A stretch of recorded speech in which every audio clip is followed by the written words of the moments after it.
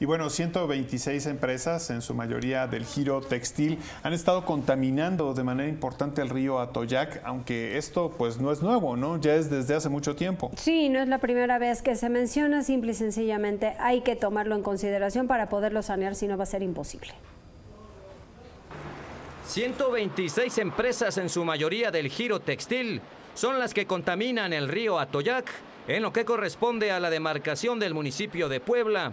Así lo detalló la secretaria de Medio Ambiente, Miriam Arabián. Dicha secretaría sostiene reuniones con organizaciones. En breve, se dará a conocer un programa implementado por el Ayuntamiento Capitalino que consiste en la proximidad con empresas del giro textil y de elaboración de alimentos para regular sus descargas. Estamos trabajando con empresas que están contaminando, sobre todo en las juntas auxiliares donde eh, están establecidas y no es un área de atención ni de Suapap ni Agua de Puebla.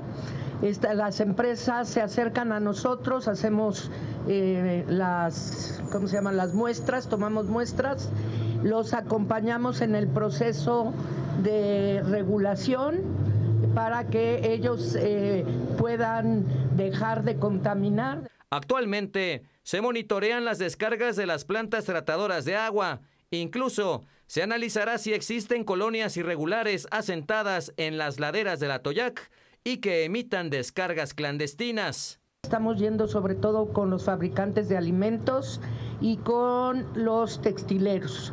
Ha habido una muy buena respuesta, tenemos ya dos empresas en este programa y eso nos va a permitir que de parte del municipio, que tiene como responsabilidad eh, el saneamiento en los drenajes municipales, se dejen de vertir todos estos contaminantes.